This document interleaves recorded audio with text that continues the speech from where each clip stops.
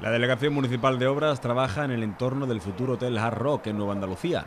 una actuación con la que se persigue dotar a esta zona de más seguridad, más plazas de aparcamiento, mayor accesibilidad y nuevos puntos para la recogida de residuos. Con esta actuación hemos ganado 16 plazas de aparcamiento, 16 plazas de aparcamiento donde había una demanda importantísima de estas plazas. Eh, hemos conseguido también dotar de mejor iluminación a todo el ámbito, creando dos medianas en el centro de, estas zonas de aparcamiento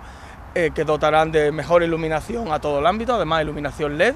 eh, que será un ahorro en cuanto al suministro eléctrico, pero también una mayor eficiencia a la hora de la, de la iluminación. Además, se va a embellecer con palmeras para completar su total rehabilitación. Vamos a crear diferentes acerados y pasos, y pasos eh, bajos para, para garantizar la accesibilidad de los peatones y de las personas con movilidad reducida desde el ámbito de la, autovía hasta el ámbito de la, misma urbanización y de alguna manera vamos a conseguir lo que se viene haciendo desde hace tiempo, que es que nuestras urbanizaciones, que el entorno de nuestra ciudad tenga, sea protagonista, que, que cada día esté más embellecido, que cada día esté pues, más practicable por todos los vecinos.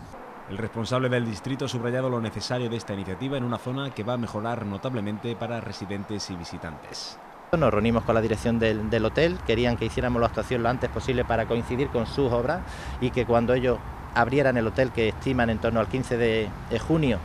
eh, pues pudiera estar todo en entorno arreglado. Aquí eh, se pusieron manos a la obra desde la delegación de obras y vamos a estar con nuestra parte de trabajo hecha. Ellos se comprometieron a cambio a estar en la feria de empleo, estuvieron, cogieron todos los currículum de los desempleados de Marbella, así que muy contento con la actuación que está llevando a cabo Hard Rock y con la que está realizando toda la delegación de obras. El concejal de Obras ha recordado que son nueve los puntos de Nueva Andalucía en los que su delegación está interviniendo estos días, agradeciendo las reuniones sectoriales que la tenencia de alcaldía mantiene con los vecinos para consensuar la respuesta a sus necesidades.